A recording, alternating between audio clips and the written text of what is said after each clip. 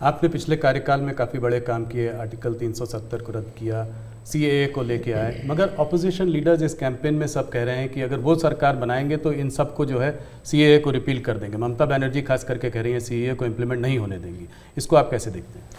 पहली बात है कि जिसको भारत का संविधान समझ है, जिसको भारत के फेडरल स्ट्रक्चर का पता है, किसके पास कौन काम है वो सब पता है, वो कभी ऐसी बात बोलेंगे नहीं। क्योंकि ये उनके अधिकार क्षेत्र का विषय ही नहीं है। जी।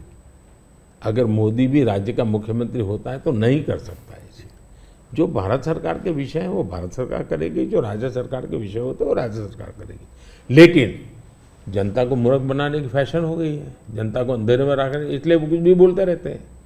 दूसरी बात है मैं चैलेंज करता हूँ कांग्रेस पार्टी कल प्रेस कॉन्फ्रेंस करके बता दें कि हम 370 वापस लाएँगे। क्योंकि 370 हटने के बाद ये लोग संविधान की इतनी बड़ी बातें करते हैं ना। बाबा साहब अंबेडकर के नाम पर और हमको इतनी गालियाँ देते हैं।